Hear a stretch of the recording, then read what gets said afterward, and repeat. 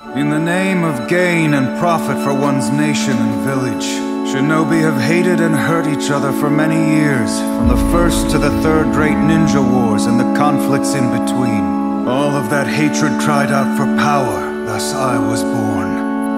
I hated this world and all its people, and thought about destroying both. I am lost. Your parents, my father, the king, they're all gone. I didn't know. He cried for me. I was his enemy, yet still he cried for me. And he called me his friend, even though we had battled. He saved me. We were on different sides.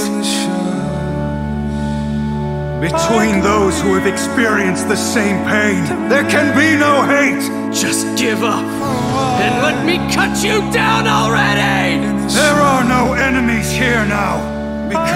One of us bears the pain of having been hurt by the Akatsuki. I'm not burning. I am burning. I am not burning. I am burning. I'm on fire. The feeling of being all alone. I know that feeling. It really is almost unbearable, isn't it?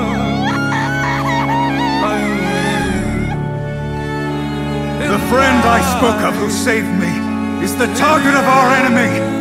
If he falls into their hands, our world's finished. I want to protect my friend. And I want to protect this entire world. I am too young and inexperienced to do that.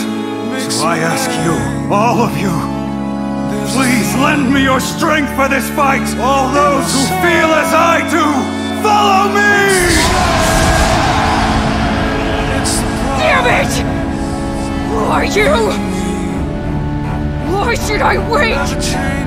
Why should I do anything you say?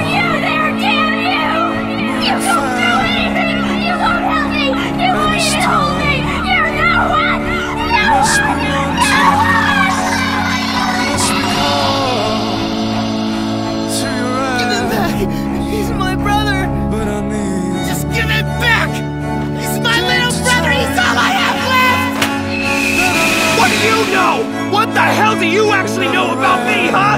Down inside, at the core of my heart, I'm just a small, cowardly, filthy piece of trash who's always worried about how they'll see me, how they'll accept or judge me, and nothing, nothing about me has changed! I hate myself! Get up, you waste of space! Human garbage! Worthless piece of shit! I hate you! And I always have! We all do. Because you've never done anything but betray me! Does that mean our lives are meaningless? Does that mean that there was no point in our being born? Would you say that of our slain comrades? What about their lives? Were they meaningless? They were not! Their memory serves as an example to us all! The courageous fallen, the anguished fallen, their lives have meaning because we, the living, refuse to forget them! And as we ride to certain death, we trust our successors to do the same for us! Because my soldiers do not buckle or yield when faced with the cruelty of this world! I am lost. My soldiers push forward! My soldiers scream out! My soldiers live!